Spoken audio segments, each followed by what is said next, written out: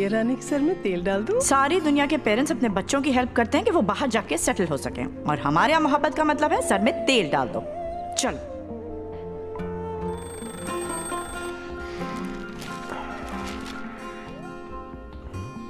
अब्बा के पास इतने पैसे? अब अपने घर क्यों बेचती जहाँ रिश्ते कमज़ोर हो जाएँ, वहाँ घर टूट जाते हैं। ऐसे टूटे हुए घर का मुझे क्या करना है? आप जरा रिश्तों को मज़बूत कीजिए। घर की दीवारों और छतों को तो हम मज़बूत बना ही देंगे। मॉडल स्टील, आओ एक मज़बूत घर बनाते हैं। जी, अस्सलाम वालेकुम नाजरीन, मैं हूँ शाहिद मियाँ। प्रोग्राम ख्वाबों से तबीयत तक के इस सफ़र में made in Pakistan and believing Pakistan के कॉन्सेप्ट के साथ powered by modern steel group of companies नाजरीन जैसा कि आपको पता है कि एशियन ट्रेड टीवी की रवायत है कि हम हमेशा ही आपके साथ ऐसी पर्सनैलिटीज़ को, ऐसे स्टार्स को बल्कि सुपर स्टार्स को मिलवाते हैं, जिन्होंने ना सिर्फ़ अपने मुल्क के लिए बहुत ज़्यादा खदमात सर अंजाम दी होती है, अपने शोबे में रहते हुए एक आला मुकाम हासिल किया होता है। उनकी खदमात, उनकी अपनी इंडस्ट्री के लिए एक अजाज़ होती है हमारे लिए। और हमारा मकसद पाकिस्तान के सॉफ्ट इमेज को नेशनली या इंटरनेशनली प्रमोट करना है बिला तफरी और इसी कोशिश में हम और हमारा दायरा मॉडल ग्रुप ऑफ़ कंपनी से इस ताउन से इस कोशिश में हमेशा गामजन रहते हैं। और आज हमेशा की तरह हमारे साथ जो पर्सनालिटी है मेरे एक बहुत ही अच्छे दरीना दोस्तों में से उनका शुमार किया जाता है। पाकिस्तान के एक नामवर अगर हम एक सोशली वर्क के हिसाब से उनकी खदमात देखें तो बहुत ज़्यादा है। नेशनली भी इंटरनेशनल भी। अगर मैं थोड़ा सा तारफ़ कराऊँ, जो कि ज़रूरी है उनका तारफ़ कराना तो मैं तीन चार चीज़ों में उनको डिवाइड करूँगा, उनकी पर्सनैलिटी को। पहले उनका एक जो तारफ़ है, था, जो उनकी पहचान था, वो था रोटरी रोटरी इंटरनेशनल क्लब ठीक, वो रोटरी इंटरनेशनल क्लब के प्रेसिडेंट रही हैं, और R I convention for Toronto यानी कि रोटरी इंटरनेशनल कन्वेंशन के चेयरमैन रहे हैं। इसके अलावा वो सी ओ है जी फ्रंट टैक कंसल्टिंग के। ये पाकिस्तान का एक टेक्नोलॉजी का एक अदारा ऐसा है, वो नई नई इनोवेशन लेकर आ रहे हैं इसमें। क्या क्या चीज़ें लेके आ रहे हैं कौन कौन से सॉफ्टवेयर कौन कौन सी एप्लीकेशन इसके ऊपर बड़ी बात करें इसके ऊपर हम बात करेंगे उनके साथ टेक के हवाले से। और इसके अलावा वो एक और प्रोजेक्ट है उनका, जो सोशल सीएसआर के हवाले से है, जो बड़ा इंटरेस्टिंग है। आजकल वो जिस प्रोजेक्ट के ऊपर काम कर रहे हैं, वो ग्रीन ग्रोथ पाकिस्तान है। ये अपने नाम ही की तरह बहुत ज़्यादा ग्रीन है। उसमें क्या ऐसी इम्पोर्टेंट बात है या क्या इसकी खूबियाँ हैं इस प्रोजेक्ट की? और इसमें वो स्पेशली रीजनल कनेक्टिविटी के हवाले से क्या कर रहे हैं इसके ऊपर हम बात करेंगे। जी हाँ आप पहचान के होंगे उनकी और मैं ख्याल में उनका नाम भी ले लूँ, साजिद इकबाल साहब। साजिद इकबाल साहब जनाब मेरे साथ मौजूद हैं, जो इंटरनेशनल एक सॉरी, साजिद इकबाल साहब मेरे साथ मौजूद हैं और ख्वाबों से तबीर तक इस सफ़र में आज मैं उनको खुश आमदेद करूँगा। उम्मीद है कि हमेशा की तरह ये एपिसोड भी हमारी बड़ी इंटरेस्टिंग होने वाली रहे, होगी। तो मेरे साथ रहिएगा। जी वालेकुम, साजिद इकबाल साहब। वेलकम टू माय शो ख्वाबों से तबीर तक इस सफ़र में powered by modern steel group of companies Sajid साहब जैसा कि मैंने अपने तारफ में कराया कि हमारा ये प्रोग्राम स्पेशली पाकिस्तान और के सॉफ्ट इमेज को नेशनली एंड इंटरनेशनली प्रमोट करना है। और मेरी खुशकस्मती आज वन वन टू जो एपिसोड होने जा रही है और ये चार साढ़े चार साल का जो सफ़र है उसमें आज आप हमारे गेस्ट हैं। तो मैं वार्म वेलकम करता हूँ आपको जनाब। तो साई साहब सबसे पहले आ, मैं बात करूँगा ये जो आजकल आपका ये प्रोजेक्ट जिसके ऊपर काम कर रहे हैं सी एस आर के हवाले से जिसकी ज़रूरत भी है आजकल सोसाइटी को ठीक है? और ग्रीन ग्रोथ पाकिस्तान। ये थोड़ा सा डिटेल में बताइएगा कि ग्रीन ग्रोथ पाकिस्तान है क्या? इसका कॉन्सेप्ट क्या है? और इसको आप किस तरह से देखते हैं? इस बेबी को प्लीज़ सबसे पहले तो शाहिद साहब थैंक यू वेरी मच मैं आपका बहुत शुक्रगुजार हूँ कि आपने मुझे इस काबिल समझा कि मैं कुछ ऐसा अपनी काम और अपने सोच के मुताबिक आपसे शेयर करूँ, ताकि मेरी पब्लिक तक मेरे सोसाइटी में मेरी बातें पहुँच सकें। और ये जो आप मीडिया बने हैं तो इसके लिए मैं आपका सबसे पहले शुक्रगुजार हूँ। सेकंड जो ग्रीन ग्रोथ पाकिस्तान है तो कलर से लगता है शायद ये ओनली पौधे लगाने का कोई काम है या ग्रीन एनवायरनमेंट का काम है। असल में इसके बैकग्राउंड में ग्रीन ग्रोथ जब हमने इसका नाम रखा तो ये था ग्रीन से मेरे मुराद थी प्रॉस्पेरिटी ग्रीन ग्रोथ का एक पार्ट है कि ये एनवायरनमेंट पे काम करती है।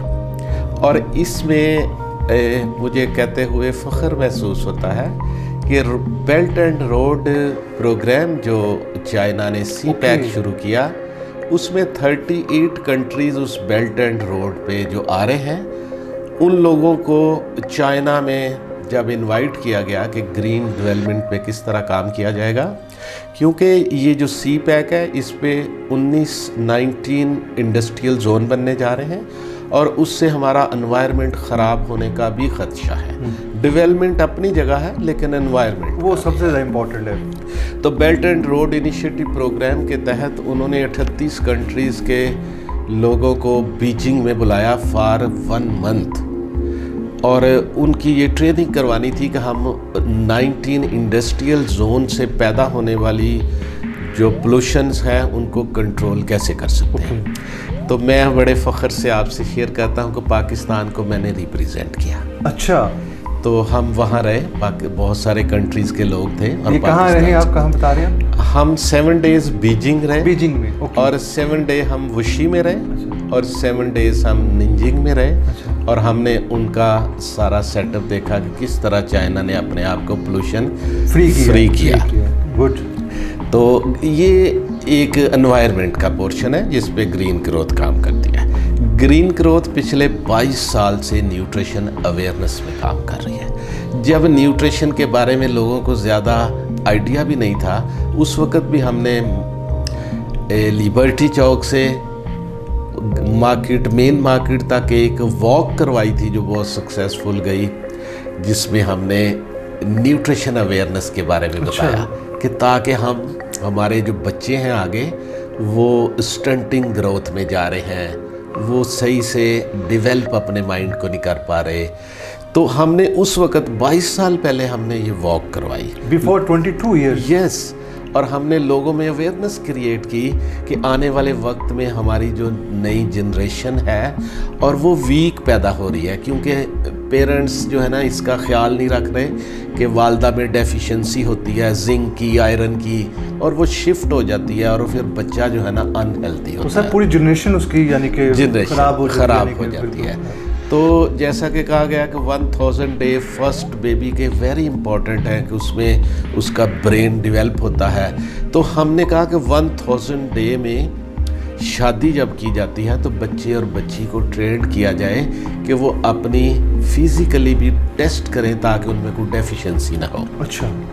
जिंक की डेफिशिएंसी दूसरी डेफिशिएंसीज हैं जिनकी वजह से हमारी नई जनरेशन में हाइट बहुत कम रहती जा रही है आई साइट के मसले आ रहे हैं। तो अल्हम्दुलिल्लाह सर ग्रीन ग्रोथ ने आज से इतने साल पहले मुझे हैरानगी है कि जो सिक्योरिटी पे एस एच ओ वॉक में थे तो वो मुझे पूछ रहे थे सर ये न्यूट्रिशन होता क्या है? तो फिर हमने ए, ऑब्वियसली पाकिस्तान जैसे इन्वायरमेंट में रह के लोगों को अवेयरनेस नहीं थी न्यूट्रिशन क्या है या ग्रोथ क्या है या जिस तरफ़ आपका इशारा है जहाँ पे आप काम कर जिस सेक्टर में करें स्पेशली ये तो बड़ा इंपॉर्टेंट है क्योंकि एक माँ सेहतमंद माँ होगी तो एक सोसाइटी का चूँकि वो पार्ट एक अच्छी सोसाइटी बनेगी वो एक अच्छा बच्चा जब लेकर दुनिया में आएगी तो एक अच्छी कौम बनेगी। तो जब वह वहाँ पर ही प्रॉब्लम होगी मेन तो वो आप तो बहुत अच्छा काम बल्कि ये जब एक बच्चा का ब्रेन पूरी तरह डेवलप नहीं, नहीं होता। तो उसका सोसाइटी में बिहेवियर भी अच्छा नहीं, नहीं होता। तो न्यूट्रिशन के बाद ग्रीन ग्रोथ ने वॉल्टियरिज्म पे बहुत काम किया। हम यूनिवर्सिटीज़ में गए लेक्चर दिए अवेयरनेस की कि वॉल्टियरिज्म जो है ना उस पे हमारी न्यू जनरेशन को आना चाहिए। वॉल्टियरिज्म का कॉन्सेप्ट जो है ना आप सुनेंगे तो आपको अच्छा लगेगा कि इसकी एक्सप्लेनेशन शायद फ़र्स्ट टाइम हो रही है। मैं बड़ी बात करने लगा हूँ फ़र्स्ट टाइम जो मैं करता रहता हूँ। कि अल्लाह परवरदिगार ने बताया कि मैंने 2.5 परसेंट जो ज़ुकात है वो आपके माल पर फ़र्ज़ कर दी। जी हाँ बिल्कुल अब जब हम माल के लफ्ज़ पे जाते हैं तो माल सिर्फ़ पैसा नहीं है। माल आपकी सेहत भी है क्योंकि अल्लाह ने आपको ये भी अनायत की है। और माल जो है वो आपका शौर भी है। हर किसी को अल्लाह ने एक जैसा शौर नहीं दिया। जिन लोगों को अल्लाह ने ज़्यादा दिया है उन्होंने शौर भी शेयर करना है। तो मैं कहता हूँ कि माल तो 2.5 परसेंट हुआ। अब आप हेल्थ और शौर की अगर बात करें तो हमने 2.5 का मतलब है 365 डेज़ में ओनली नाइन डेज़ आपने वॉलेंटियर वर्क करना है। वाह एक डॉक्टर ने 9 दिन फ्री पेशेंट्स तो सर हाउ इज़ पॉसिबल यानी कि पाकिस्तानी जैसे इन्वायरमेंट में रहते हुए विदाउट एनी यानी कि ये कोई मुश्किल नहीं है। आपने अपने पूरे साल में नौ दिन काम करना है आठ घंटे काम है और नौ दिन है। आपका दिल करे आप संडे को एक घंटे देख लें। आप मुझे शाहिद साहब बताइए कि एक डॉक्टर जो क्लिनिक पे है दो हज़ार फ़ीस लेता है या पाँच। हर दस मरीजों के बाद एक मरीज़ को मुफ़्त देख लेगा। उसकी इकोनॉमिक्स में कितना का फ़र्क आएगा? कुछ नहीं लेकिन सोसाइटी में एक लेकिन सोसाइटी हाँ, में एक स्ट्रेंथ। ठीक है ना? तो ये वॉलेंटियरिज्म है। एक टीचर है वो स्कूल में पढ़ाती है पढ़ाता है। अगर वो पाँच बच्चों को ये इतनी ज़्यादा यूनिवर्सिटीज़ और कॉलेजेस हैं मैं इनसे आपकी तवज्जो से रिक्वेस्ट भी करता हूँ। क्लास के पीछे अगर पाँच बच्चे फ्री बैठ जाएँगे तो कितना फ़र्क पड़ जाएगा आपके चालीस बच्चे हैं पचास हज़ार एक से आप फ़ीस ले रहे हैं तो तीन बच्चों से क्या हो जाएगा? तो ये वॉलेंटियरिज्म सी एस आर इस पर हमने बहुत ही कोशिश की। अब मैं सर इसका इकोनॉमिक एक फैक्टर आपसे शेयर करता हूँ कि अगर मेरे जैसा गरीब बंदा जो है उसकी एक दिन की कॉस्ट एक हज़ार रुपया है फॉर एग्ज़ाम्पल मजदूरी करता हूँ यहाँ एक हज़ार है। तो नौ दिन की नौ हज़ार। हुई इसका मतलब मुझे नौ हज़ार रुपया कंट्रीब्यूट करना है कैश की सूरत में नहीं वर्क की सूरत में। तो जो हम इंटरनेशनल एक्चुअल लॉ है बना हुआ ये बात बहुत इम्पोर्टेंट है कि जो लॉ है कि हर बंदा 72 टू आवर्स हर बच्चा जो है ना 72 टू आर वॉल्टियर वर्क करे। ये 72 आवर 2.5 परसेंट ज़कात से लिया गया। क्योंकि नाइन डेज़ और eight hours nine multiply by eight seventy two hours काम करना है आपने। तो आप देखें मैंने 9000 का कंट्रीब्यूट किया अगर मैंने 9 दिन फ्री काम किया। आपके एक लाख रुपया अगर एक दिन का है तो आपने 9 लाख कंट्रीब्यूट किया। आप मुझे बताएँ 110 मिलियन पाकिस्तान के लोग काम करते हैं। तो और सारे के सारे अगर ए, एक हज़ार से भी लगा लें 500 से भी लगा लें काम करें। तो जीडीपी को सालाना कितनी सपोर्ट कर ग्रोथ भी होगी जी डेफिनेटली डेफिनेटली कितनी और मुआशरा कितना ये तो इस्लामी माशरे का एक रूल बता रहे हैं आप। प्रिंसिपल ये बेसिक हमारे जो इस्लामी माशरे का प्रिंसिपल ही यही है जिसके ऊपर आप काम ये कर रहे हैं। सेकंड ये ग्रीन ग्रोथ जो है ना जी इसने वॉलेंटियरिज्म पे काम किया। हमने एनवायरनमेंट पे काम किया हमने इस पे न्यूट्रिशन अवेयरनेस पे काम किया। हमने फ़ूड सिक्योरिटी पे काम किया, क्योंकि न्यूट्रिशन से रिलेटेड है, और हमने ये वॉलेंटियरिज्म पे काम किया है। तो ये ग्रीन ग्रोथ के मेजर एरियाज़ हैं जिस पे हम काम करते हैं।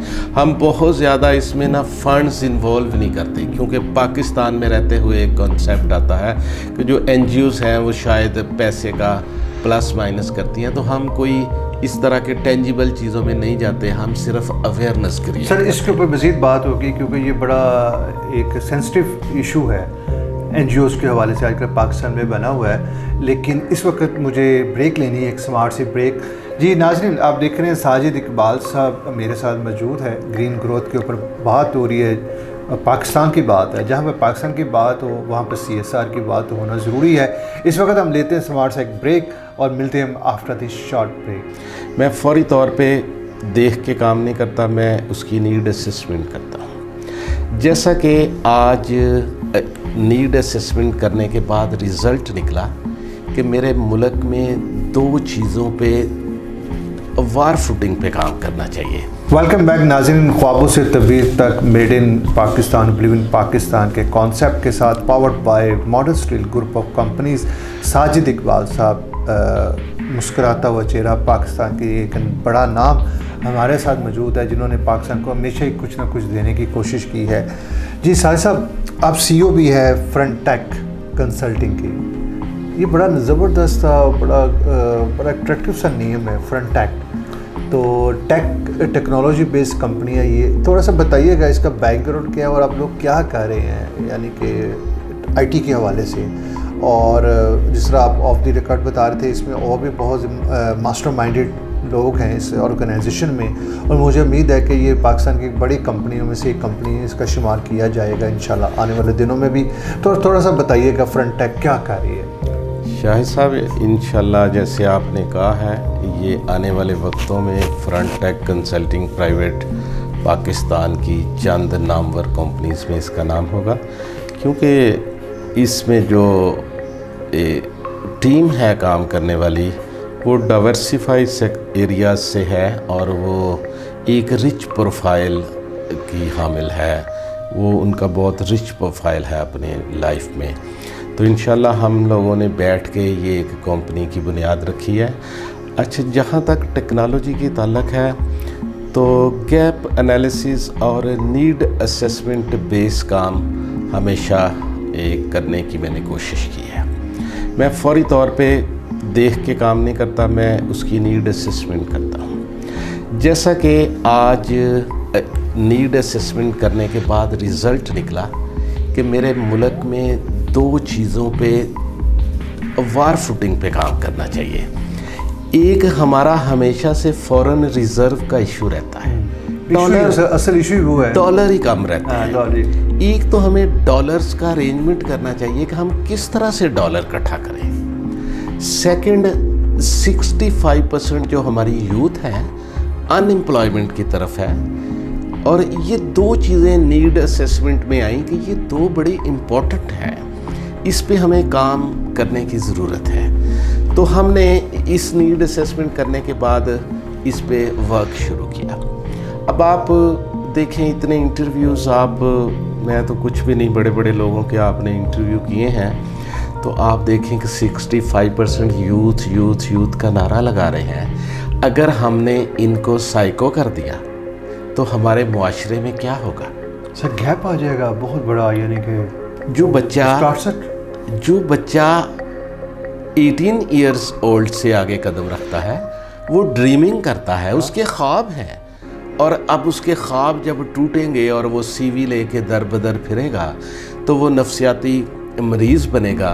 तो अगर ये इतनी ताकतवर हमारा पोर्शन 65 परसेंट यूथ अगर जी हमने इसको डिस्टर्ब कर लिया तो मुआशरा भी हमारा उतना ही डिस्टर्ब यानी कि डी ट्रैक कर दिया अगर हमने। ट्रैक कर दिया अगर हमने। तो मैं तो समझता हूँ हम बड़ों की बात करते हैं मैं भी आज शामिल हूँ। हमने अगर कोई ज़्यादती की है और कर रहे हैं तो हम यूथ से कर रहे हैं। क्योंकि हम उनको अपॉर्चुनिटी नहीं दे रहे एनवायरनमेंट नहीं दे रहे, वो उनको हम, उनके ख्वाब नहीं पूरे होने दे रहे।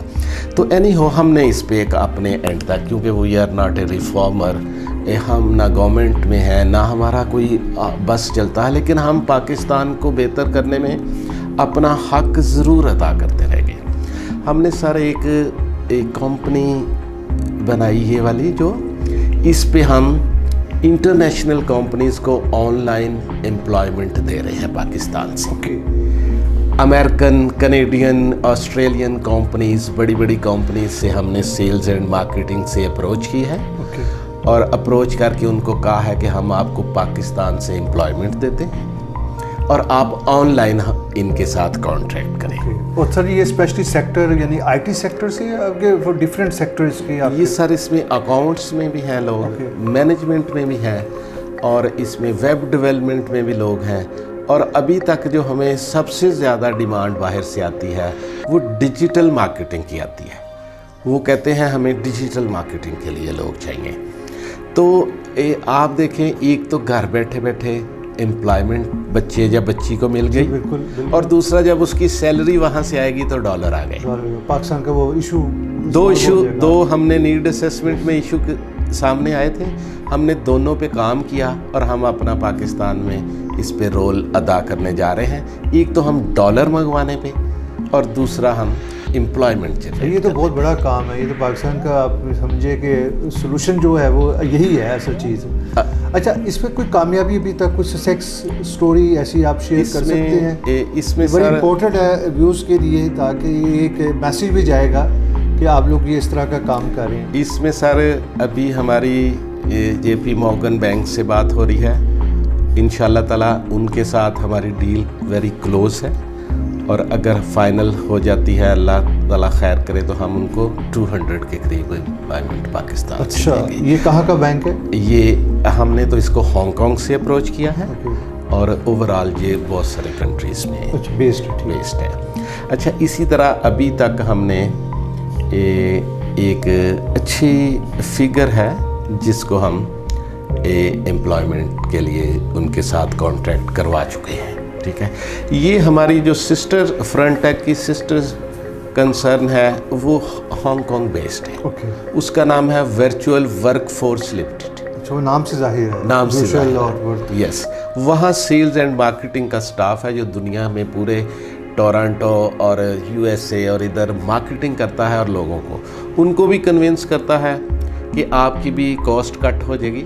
क्योंकि आपको वर्क स्पेस नहीं देनी पड़ेगी इंश्योरेंस नहीं देनी पड़ेगी मेडिकल नहीं देना पड़ेगा आपको वीज़ा नहीं देना पड़ेगा। तो हमारा ये होगा कि हमारे लोगों को मुल्क से बाहर नहीं जाना पड़ेगा।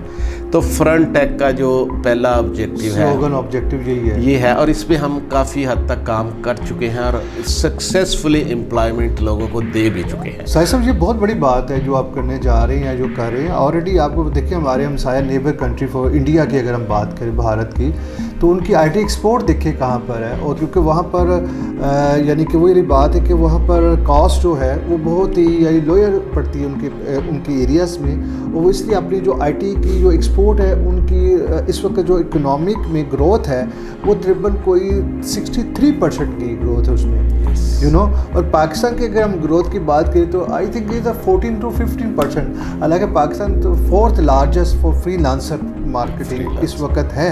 लेकिन फिर भी क्योंकि भारत का इंडिया का वॉल्यूम बढ़ा है, शायद वो और उनकी जो डायरेक्शन है विजन है, वो सोचते हैं, जो पॉलिसी है, उनकी आईटी के हवाले से वो बहुत क्लियर है। यही वजह देख लें आपके चाहे वो उसमें देख लें आप वर्ल्ड बैंक का जो चेयरमैन अभी सीईओ जो है, वो भी इंडिया से है। आप जितने बड़ी अदारे देख ली हमारे यहाँ अगर आप इस तरह का काम कर रहे हैं तो मैं समझता हूँ इससे एक नेशन जो जहाँ पर एक लोगों को ड्रीम्स था कुछ करने का तो वो बड़ा आप बारिश का पहला कतरा साबित होंगे और आप जैसे लोग। अल्हम्दुलिल्लाह शाहिद साहब ये जो हमने स्टार्ट लिया है इसमें हमें अभी जो मुश्किल आ रही है उसके लिए भी कल मेरी जूम मीटिंग थी प्राइवेट सेक्टर डेविड कैमरॉन के साथ और वॉलकर जर्मनी के साथ। तो कल हमने एक घंटा तकरीबन मीटिंग करने के बाद हम सिस्को की कुछ अकेडमीज़ हैं और यहाँ कुछ अकेडमीज़ को एक्टिव कर रहे हैं ताकि हम उस प्रॉब्लम को सॉल्व करें। वो प्रॉब्लम ये आ रहा है कि हमें जो यहाँ से एम्प्लॉयमेंट जनरेट करनी है उनको थोड़ी ट्रेनिंग देनी पड़ रही है क्योंकि वो उनके बिहेवियर के मुताबिक नहीं है। बिल्कुल ठीक। है ना? वो लोग जैसा कि आप जानते हैं कि work extra extraordinary work Pakistan में बहुत सारी चीज़ें हैं। ऐसी एटीट्यूड भी इधर एजुकेशन का भी। एजुकेशन का भी है। फिर हम बहुत सारी रीजनिंग में चले जाते हैं कि वो मेरा सर दर्द कर रहा था ये वो तो वहाँ चूँकि Immaturity है। इमेच्योरिटी है। तो हमने ना उनके साथ बैठ के कल ही एक प्लान किया है कि हम यूथ को शॉर्ट ट्रेनिंग दें ताकि ये सक्सेसफुल एम्प्लॉय चलिए होपफुली जी, ये बहुत अच्छा काम है और मेरी बेस्ट विशेष है आपके साथ साजिद साहब। अल्लाह ताला आपको कामयाब करे, क्योंकि ये पाकिस्तान का काम है। और पाकिस्तान के लिए जो भी कोई अच्छा सोचेगा डेफिनेटली वो उसकी अपनी तो उसमें कामयाबी स्ट्रगल तो है, लेकिन पाकिस्तान के लिए भी है। जी इस पर थोड़ी सी मज़ीद मैं चाहूँगा आपकी तवज्जो, लेकिन टाइम इस वक्त हुआ एक स्मार्ट से ब्रेक का। जी नाजिन साजिद इकबाल साहब मेरे साथ मौजूद हैं। और उम्मीद है कि आपको ये सफ़र, ये एपिसोड बहुत अच्छी इंटरेस्टिंग होगी आपके लिए। मुझे इस वक्त एक स्मार्ट सा ब्रेक लेना है। मिलते हैं आफ्टर दिस शॉर्ट ब्रेक और एक्सचेंज प्रोग्राम करें। आपको लाहौर के अलावा मैं कैपिटल की एग्जांपल देता हूँ सर लाहौर के अलावा इस्लामाबाद इस वक्त आठ सिटीज़ के साथ सिस्टर सिटी डिक्लेरेशन साइन कर चुका है। वेलकम बैक नाजरीन ख्वाबों से तबीर तक के सफ़र में साजिद इकबाल साहब मेरे साथ मौजूद है जी साहिद साहब साजिद साहब आप कुछ बता रहे थे पाकिस्तानियों के लिए कुछ और प्लीज़ फ्रंट टेक पे हमने जो सेकंड प्रोजेक्ट लॉन्च किया है वो है ग्लोबल रीजनल कनेक्टिविटी ओके इसमें हमने जो मॉडल है वो है ऑलरेडी एग्जिस्ट करता है वो है sister city program sister cities program program ये क्या है थोड़ा सा? यूनाइटेड नेशन ने इसको अलाउ किया हुआ है कि कोई भी मिलते जुलते किसी कन, दो कंट्रीज़ के सिटी आपस में सिस्टर सिटी डेक्लेरेशन साइन कर सकते हैं। और सिस्टर सिटी डेक्लेरेशन साइन करने के बाद वो एक दूसरे से बहुत कुछ लर्न कर सकते हैं सपोर्ट कर सकते हैं एक दूसरे की। और economically culture wise exchange program कर सकते हैं। तो इसका भी एक, जब मैं ग्रीन डेवलपमेंट के सिलसिले में आ रही, उधर गया हूँ बेल्ट एंड रोड पे तो वुशी एक सिटी है। वुशी चाइना का रिचेस्ट सिटी है और मेजर कंट्रीब्यूशन है उसकी जीडीपी ऑफ़ चाइना में। और इकोलॉजिकल सिटी है, इतना साफ़ सुथरा है कि लोग वहाँ रहने आते हैं चंद दिन गुजारने। और वुशी के जो मेयर हैं, उन्होंने हमें डिनर पे इनवाइट किया तमाम कंट्रीज़ के रिप्रेजेंटेटिव को। तो हर टेबल पे फ्लैग लगे हुए थे तो मेरे टेबल पे जैसे पाकिस्तान का फ्लैग था। तो जब वो हर टेबल पे होस्ट मेयर साहब जा रहे थे थैंक यू कहने के लिए तो मेरे पास आए तो उन्होंने कहा कि all are my friends but you are my brother तो मैंने उनको कहा कि कोई भाईचारा नहीं है। आप एक साफ़ सुथरे शहर में रह रहे हैं। मैं लाहौर से एक पोलूटेड शहर सिटी में रह अभी तो डिक्लेयर भी हो चुका है लाहौर तो वैसे पोलूटेड हाँ। पोलूटेड सिटी में रहता हूँ। मेरा और आपका क्या भाईचारा? आपने तो अपने भाई का ख्याल नहीं रखा कि वो उधर है। उसने इस बात को पिक किया अपने डायरेक्टर्स को बुलाया और उन्होंने एक special exclusive meeting belt and road country के अलावा मेरे से रखी। मुझे उन्होंने अपने मेयर ऑफ़िस में लेके गए। वहाँ जाके उन्होंने ब्रीफ किया। ब्रीफ करने के बाद कहा कि अगर आप लाहौर और वशी को सिस्टर सिटी डेक्लेरेशन में साइन कर दें दोनों शहर आपस में तो मैं आपकी ज़िम्मेदारी लेता हूँ कि मैं लाहौर को पोलूटेड फ्री कर दूँगा। वाह इंटरेस्टिंग मैंने कहा उसने कहा हम फिर ये कर देंगे ये कर देंगे ये कर देंगे। इवन उन्होंने मुझे ये भी कहा कि हमारे पास पुराने टेंडर हैं आग बुझाने वाले जो 25वीं मंजिल तक आग बुझा लेते हैं। हम आपको 80 के करीब टेंडर गिफ्ट देंगे जिस दिन आप डेक्लेरेशन हमारे साथ साइन करेंगे। मैं वापस आके अप्रोच किया तो यहाँ पे फिर वही रेड टेपिज़म तो जब मैंने बुजदार साहब के किसी के थ्रू प्रिंसिपल साहब तक अप्रोच किया तो उन्होंने कहा कि हमें वो ऑफिशियली ईमेल करें इस बात की। तो मैंने उनको कहा तो उन्होंने ऑफिशियली ईमेल भी किया। लेकिन सर इमेजिन करें तीन साल में एफर्ट्स के बावजूद लाहौर और वशी सिस्टर सिटी डेक्लेरेशन में नहीं जा सकते जिसका ना ये एग्रीमेंट का मटेरियल ड्राफ्ट भी रेडी है और चीफ मिनिस्टर साहब से समरी भी अप्रूव्ड है तमाम डिपार्टमेंट से। मगर हम इस इनिशिएटिव में तो हमने सोचा फ्रंट टेक में कि जब हम इसके डीप में गए तो हमें कुछ रिसर्च मिली जर्मन की। उन्होंने कहा कि हमने जब देखा तो 22 परसेंट हमारे उन शहरों ने ज़्यादा तरक्की की है जो दुनिया के दूसरे सिटीज़ के साथ सिस्टर सिटी में थे। तो जब हम चाइना तो चाइना आजकल फुली तौर पे काम कर रहा है। उन्होंने एक डिपार्टमेंट बना दिया हर शहर का। वो कोशिश कर रहा दुनिया के 10 10 12 12 15 15 शहरों के साथ सिस्टर सिटी डेक्लेरेशन साइन करें और एक्सचेंज प्रोग्राम करें।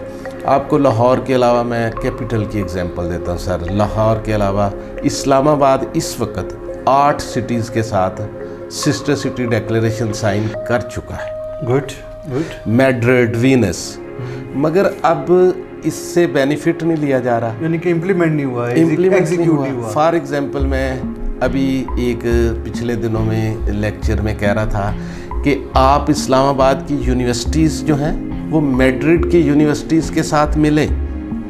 20-25 लोग मैड्रिड की यूनिवर्सिटीज़ के आपके पास पढ़े। और 20-25 इनके उधर पड़े। कोई एक्स्ट्रा चार्जेस नहीं। आप इनसे फ़ीस ले लें वो उनसे फ़ीस ले लें। बार्टर सिस्टम बाल्टिक सिस्टम हो जाए इसी तरह आप कल्चर एक्सचेंज के प्रोग्राम करें ट्रेड के करें चैम्बर्स हैं। आर्ट सिटी के चैम्बर और इस्लामाबाद चैम्बर एक दिन मिले। बिल्कुल। तो हम एक दूसरे से सीखेंगे एक दूसरे से हमारा एक्सपोयर बड़ा होगा हम लर्निंग होगी। तो हमने इस पे फोकस किया हुआ है। गवर्नमेंट को, दूसरे लोगों को हम एजुकेट कर रहे हैं एडवोकेसी दे रहे हैं कि हम सिस्टर सिटी प्रोग्राम के तहत पाकिस्तान में बेहतरी ला सकते हैं। सर, ये तो बहुत कमाल का इनिशिएटिव होगा आपका और आइडिया भी बड़ा ज़बरदस्त है। अगर ये हो जाए तो नॉन आउट पाकिस्तान और स्पेशली लाहौर की अगर हम बात करें, जिस तरह आपने कहा पॉल्यूशन के हिसाब से भी, ये सब चीज़ें टोटली चेंज हो जाएगी इन्वायरमेंट चेंज हो जाएगी। चाइना जैसे कंट्री के साथ मिलकर एक अच्छा प्रोजेक्ट हो जाएगा पाकिस्तान के लिए। तो वही बात है कि अल्लाह करे, ये ख्वाब अच्छा है, सुहाना है गालिब। दिल बहलने को ख्याल भी अच्छा है, लेकिन सच हो जाए ये हकीकत तो सही। चले थे हम कारवा बन ही जाएगा, ठीक है? तो ये वही चीज़ है। आखिरी बात जो मैं, चूँकि टाइम की चोर से किल्लत भी है, आपने रोटरी के लिए बहुत काम किया है, ठीक है? स्पेशली आर आई कन्वेंशन जो हुआ था टोरंटो में। वो इंटरनेशनली वो फेम था उसमें तो थोड़ा सा कुछ रोटरी के हवाले से और अभी आपने रोटरी से थोड़ा सा किनारा कशी क्यों कर दी है? ये बड़ा ज़रूरत थी आपको रोटरीज की। रोटरी इंटरनेशनल चूँकि बहुत ही बड़ी ऑर्गेनाइजेशन है जिसकी age more than hundred years है और चूँकि इसकी बेस बहुत सॉलिड है इसलिए इसकी एज 500 ईयर भी हो सकती है क्योंकि इसकी बुनियादें जो इसके प्रिंसिपल्स हैं वो बहुत ही ज़्यादा मज़बूत और सोसाइटी के लिए ज़रूरत है उसकी। तो इसके टोटल पूरी वर्ल्ड में 1.4 मिलियन मेंबर्स हैं। तो डिफरेंट कंट्रीज़ में डिफरेंट सिटीज़ में रोटरी के क्लब हैं। तो ये एनुअली किसी न किसी कंट्री में के किसी शहर में हर साल अलग से इकट्ठे कन्वेंशन करते हैं। और शायद साहब आपको हैरानगी होगी कि वहाँ उस कन्वेंशन में एक लाख मेंबर तकरीबन आता है। एक लाख तो डेफिनेट दुनिया से। दुनिया से। अच्छा वो इतना बड़ा एक गैदरिंग होती है वो भी जैसे मैं पीछे ज़िक्र कर रहा था सिस्टर सिटी का वो भी एक ऐसा प्लेटफॉर्म है जिससे आप जैपनीज़ से मिलके सीखते हैं चाइनीज़ से सीखते हैं। तो आप वहाँ किसी भी कंट्री के फ्रेंडशिप क्रिएट करें। तो वो सारी फ्रेंडशिप क्रिएट करें और फ्रेंडशिप का मिलने का मकसद ट्रेड है और सोशल वेलफेयर है। आप एक दूसरे को जाने, कल्चर को जाने। तो मैं समझता हूँ कि इससे अच्छी ऑर्गेनाइजेशन और बेस्ट वर्क नहीं है। तो मुझे भी मौका मिला ये 2018 में चूँकि ये कन्वेंशन कोविड से पहले टोरंटो हो रहा था तो रोटरी की लीडरशिप ने मुझे ये ज़िम्मेदारी दी कि आप इस कन्वेंशन के पाकिस्तान में आ रही कन्वेंशन के चेयरमैन हैं। तो मुझे इसमें बहुत कुछ सीखने को मिला और हमने इस कन्वेंशन में, इससे पहले एटलांटा में था तो एटलांटा में भी मैं ट्रेनिंग के लिए इस कन्वेंशन में गया था, क्योंकि अगले साल मेरी ये ज़िम्मेदारी थी। तो मैं जब एटलांटा गया तो वहाँ रोटरी ने मुझे बहुत कुछ सिखाया कि किस तरह से ये सब कुछ करना है। तो अभी भी हम छोटे मोटे अवेयरनेस के हवाले से सेमिनार कॉन्फ्रेंसेस करते हैं। तो आप यकीन जानें कि एक लाख बंदे का कन्वेंशन करने के बाद यहाँ हमें पाँच सौ हज़ार की कन्वेंशन का कुछ होता कुछ आइडिया भी नहीं होता हम ऐसे ही कर लेते हैं। यानी कि इतना एक्सपीरियंस वेल नॉन ऑर्गेनाइजेशन है। हाँ। यानी कि मैनेज हुई है पहले से और रूट्स हैं लोगों में उसके। और एक नाम है रोटरी का। तो वो शायद वाकई बात ठीक है वो चीज़ें आसानी से हो जाती हैं तो चीज़ें। तो मैंने रोटरी से इसलिए नहीं इधर हुआ क्योंकि टाइम की वजह से मैं अपना जस्टिफाई नहीं कर पा रहा था अपनी असाइनमेंट टाइम नहीं दे पा रहा था। मैं लाहौर से हूँ, लेकिन इस्लामाबाद मुझे पीटीआई की लीडरशिप ने इनवाइट किया था और फिर हमने वहाँ इंसाफ वेलफेयर विंग बनाई। फिर हमने वहाँ पीटीआई में फ़र्स्ट टाइम हमने कैपेसिटी बिल्डिंग प्रोग्राम शुरू किया है जिसमें हम सुबह नौ से पाँच बजे तक लीडर्स की ट्रेनिंग करते थे अच्छा। कम्युनिकेशन स्किल पे कि आपने बोलना कैसे है हम्म। और पीपल एंगेजमेंट के हवाले से कि आपने अपने हल्के के लोगों को एंगेज कैसे करना है तो ये पीटीए की खूबी है वैसे वो कर लेते हैं ये ये फ़र्स्ट टाइम ऐसा हुआ है कि पार्टी के अंदर मैंने इस्लामाबाद में जाके ये रेगुलर ट्रेनिंग प्रोग्राम किया और बहुत सारे इस्लामाबाद क्लब में हमने ये प्रोग्राम किए और इंसाफ वेलफेयर विंग को इस्टेब्लिश किया डेवलप किया इस पर प्रोजेक्ट बनाए। इसमें न्यूट्रिशन के हवाले से प्रोजेक्ट बनाए। इसने एहसास प्रोग्राम के जो मैनेजमेंट थी उनको डेटाबेस में सपोर्ट किया। तो इस असाइनमेंट के लिए जब मुझे ये असाइनमेंट मिली तो थोड़ा रोटरी इग्नोर होने लग गई। हम्म, वो टाइम की वजह से टाइम की वजह से चलें साजिद इकबाल साहब, यकीन मानिए कि वही वाली बात दोबारा कहूँगा कि टाइम की थोड़ी सी बंदिश है। अदरवाइज़ अभी आपसे जानने और आपके अंदर से निकालने के लिए मेरे पास बहुत सारी चीज़ें हैं, क्योंकि आप एक ज़हीरा है पाकिस्तान के लिए और पाकिस्तान का एक एसेट है, मैं समझता हूँ। हमें आप जैसे लोगों की कदर करनी चाहिए, क्योंकि आपने, आपके जितने प्रोजेक्ट हैं पर्सनली मैं तो बहुत इंस्पायर हूँ आपसे भी, आज से नहीं, अरसा दराज से और आपके कामों से और स्पेशली ये ग्रीन ग्रोथ पाकिस्तान जो आप कर रहे हैं तो मेरी और मेरे दारे की विश है कि हमसे जो हो सका एशिया ट्रेड टीवी के हवाले से हम आपका ये मैसेज और आपकी हर कंपेन का पार्ट बनते हुए इसको जितना हो सका, क्योंकि ये पाकिस्तान के लिए ये मेरे लिए और आपके लिए नहीं है। तो जहाँ पाकिस्तान के लिए होगा तो वहाँ पर एशियन ट्रेड ज़रूर होगा। तो सर, इसके साथ मुझे आप इजाज़त दीजिए और इन मुझे उम्मीद है कि एक नए सफ़र में फिर आपसे मुलाकात होगी एक नए साजिद इकबाल की तरह। और ये जो आपके प्रोजेक्ट्स हैं उसमें आप इस पोजीशन में होंगे कि ये जो बेबी है ये एक तनावर दरख्त की तरह खड़ा हो चुका होगा इन जी नाजिन आप देख रहे थे ख्वाबों से तबीर तक का ये सफ़र। आज साजिद इकबाल साहब मेरे साथ मौजूद थे। आपने देखा है उनके जितने भी प्रोजेक्ट्स उन्होंने आपसे डिस्कस किए या शेयर किए वो पाकिस्तान के और पाकिस्तानियों के लिए कितने इंपॉर्टेंट है।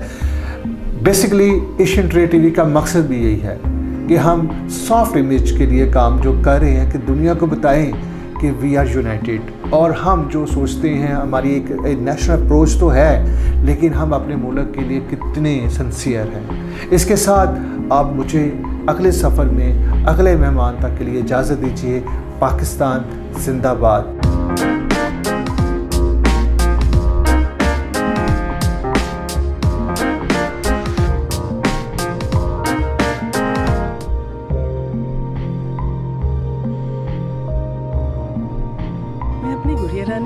तेल डाल दूँ? सारी दुनिया के पेरेंट्स अपने बच्चों की हेल्प करते हैं कि वो बाहर जाके सेटल हो सके। और हमारे यहाँ मोहब्बत का मतलब है सर में तेल डाल दो।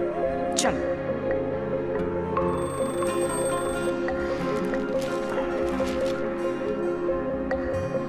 अब्बा के पास इतने पैसे? अब्बा आपने घर क्यों बेच दी जहाँ रिश्ते कमज़ोर हो जाए वहाँ घर टूट जाते हैं। ऐसे टूटे हुए घर का मुझे क्या करना है? आप जरा रिश्तों को मज़बूत कीजिए। घर की दीवारों और छतों को तो हम मज़बूत बना ही देंगे। Modern steel. आओ एक मज़बूत घर बनाते हैं।